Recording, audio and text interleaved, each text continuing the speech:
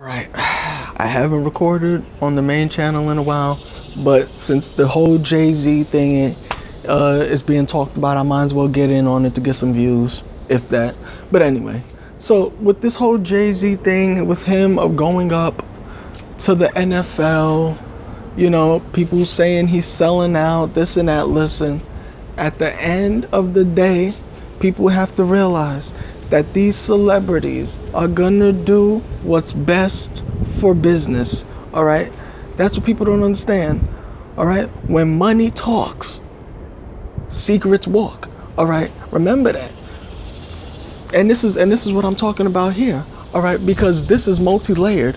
The kneeling and then Jay-Z going up there. There's a whole lot of different components to it. But at the end of the day, all right, if you get paid enough, you will work with the enemy regardless of what happens all right? And then my thing is also this is as well is that if jay-z was going up there accepting a paycheck from the nfl and he's a billionaire my thing is this is that it's already bad enough that black people don't own nothing now. Instead of going up there receiving a payday why not try and start your own league? I mean heck vince mcmahon is starting the xfl like somebody want to see that.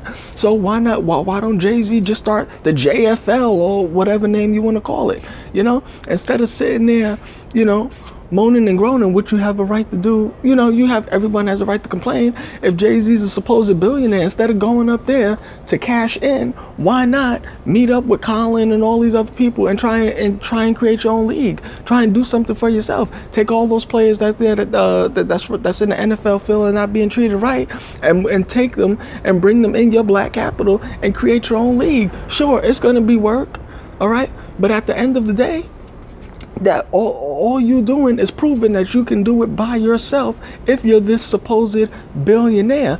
And then also my thing is too is that is that since Kaepernick got paid all right it took a while for a response to come out. Because now seeing as how he done got paid it took what almost a day and a half for a response? And then why is his girlfriend always speaking for him and what that that that's my situation. Why is she always speaking for him? Sure, you know your significant other's always gonna try and defend you, this and that. But at the end of the day and whatnot, you have to be a man and come out at a certain point in time and issue your own statement. So for me, this whole thing is nonsense anyway because me i really don't watch football anyway you know i've never been a sports fan like that like a big sports fan like that. So my thing is this: at the end of the day, if people can't see the forest from the trees, then I don't know what to tell you.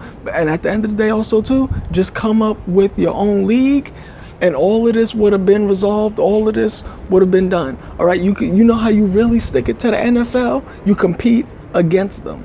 All right. But at the end of the day, it is what it is. I kept the video short. I wasn't going in like all these other people.